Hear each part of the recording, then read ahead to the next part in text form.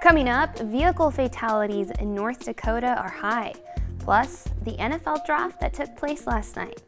All this on KX Plus. Hey guys, my name is Natalie Gomez. Let's get to it. The North Dakota Department of Transportation says vehicle fatalities are higher compared to previous years. Reports say since January 1st of this year, 26 people have died on state roadways. In 2020, there were nine fatalities, and in 2019, there were 22 fatalities during that period. DOT officials note preventable behaviors such as not wearing a seatbelt, driving under the influence, speeding, and lane departure are primary contributors to motor vehicle fatalities here in North Dakota. Here are some statistics on the main causes of fatalities in North Dakota in 2020.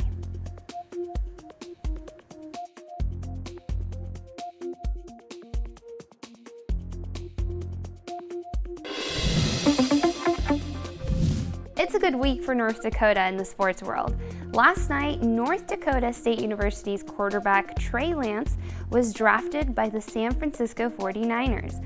Lance, a redshirt freshman from Marshall, Minnesota, won the Walter Payton Award and Jerry Rice Award and was named the most valuable player of the 2020 NCAA Division I football championship game. He was the number three overall pick. Congrats, Trey. All right, that's all I have for you today. Stay up to date by logging on to our kxnet.com website. Happy Friday, and I'll see you next time.